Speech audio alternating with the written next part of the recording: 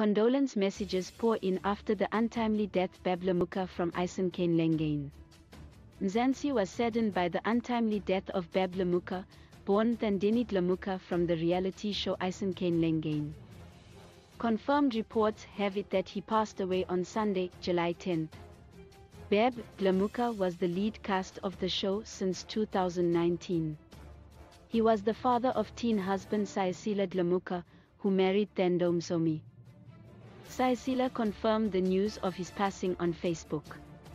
Taking it to social media, he posted, Inhliziyo Yami Ibuhlungu rest in peace Dlamuka.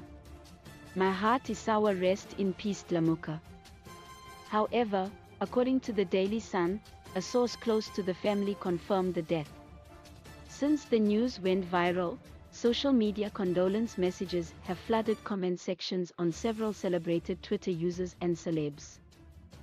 Fans across the globe have posted messages of condolences to Isencane Lengane's family as they paid tribute to the late father. Reports have it that the famous on-screen character we all love to hate died after a long illness. During the much talked about season 2, he revealed that he was battling diabetes and was wheelchair-bound.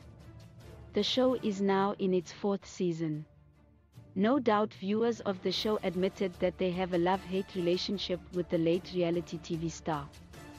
However, many felt that he spoiled Siyacela to his detriment. On the other hand, others found that he disciplined him when he would go out of line, saying they would remember him for coining the word stafatu. His pronunciation of is stupid. Here are some comments that flooded social media platforms in the wake of his untimely death. Sad to learn the passing of Ubeb Dlamuka, I will always remember him by reprimanding Siyacela when he starts being disrespectful. Lolan Voxelo Mguni, rest in peace Mguni, one tweet wrote. Beb Dlamuka wanted to get Siyacela a wife so early so that when he passed on, he can leave him with a person close to him since his mother passed on when he was too young. Well Dlamuka fulfilled that and left him with a very loyal wife. R.I.P. Mkulu, another viewer wrote. Rest in peace to Beb Dlamuka from Isencane Lengane. The news of the passing of Pastor Mthandeni Dlamuka has touched many people.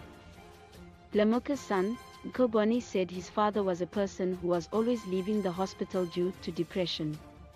Leave your comments in the comment video below, don't forget to share with your family and friends.